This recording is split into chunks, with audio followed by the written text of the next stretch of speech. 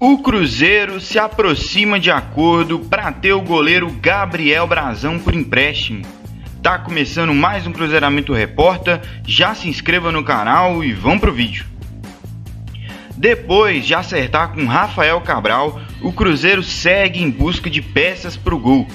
Brazão, um velho conhecido que atualmente pertence à Inter de Milão e que vinha treinando na toca para se recuperar de lesão, agradou a direção de futebol do Cruzeiro. Diferente da negociação do mês passado, dessa vez tudo indica que o desfecho será positivo para os dois lados e Gabriel Brazão disputará a posição de titular no gol do Cruzeiro.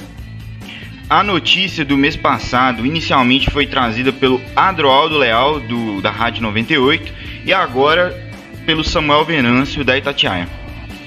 Esse foi o vídeo de hoje. Comente aí se você aprova a vinda do Brasão e comente quem que seria o seu goleiro titular, agora que a gente possivelmente vai ter o Rafael Cabral e o Gabriel Brazão disputando a condição de titular do Cruzeiro.